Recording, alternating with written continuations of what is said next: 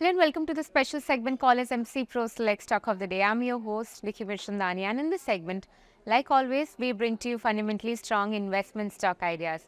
Today's stock of the day is ESAF Small Finance Bank, Kerala-based small finance bank, which has prioritized lending to the underserved bottom of the pyramid demographic, primarily focusing on microfinance loans.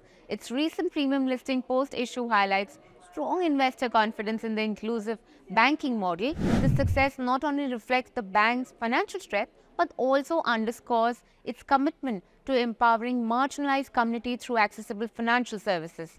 Now, why this company? Why talk about this small finance bank at the moment? Couple of things working in the favor. Let's address the first one, which is the strong growth profile. Now, the advances have surged at a CAGR of 45% over the past six years, showcasing consistent and solid expansion of this one. Even in the recent quarter, the growth momentum remained strong, standing at over 37%, underscoring sustained performance. Despite being a relatively smaller player, the market potential remains vast, offering ample opportunities for further expansion. Moreover, there are currently no foreseeable obstacles on the horizon that could impede the impressive growth profile, at least in the near term for the company. The margins are stable despite worsening deposit profile. The deposit base remains stable, notably with over 89% coming in from retail deposits, showcasing a strong reliance on the individual customers. However, the low-cost CASA segment comprising of current and saving accounts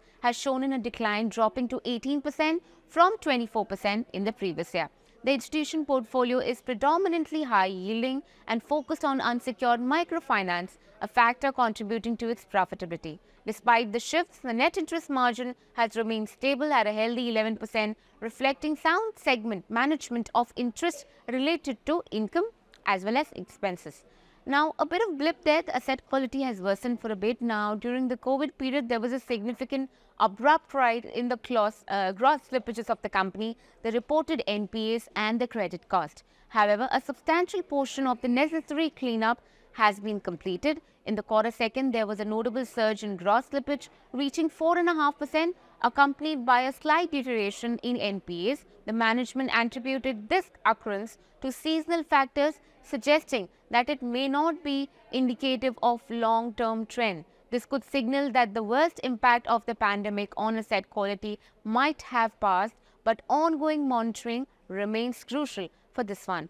Key risk were regional concentration, right, where there is a dominance of Kerala in the entire book to an extent of 43%. Microfinance dominates with a share of 73%.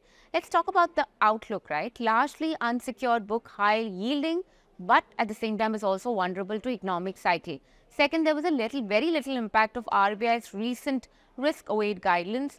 The target of reducing the share of microfinance by 4 to 5% every year is also one of the outlook that the company has suggested. It doesn't see any kind of pressure on its margins.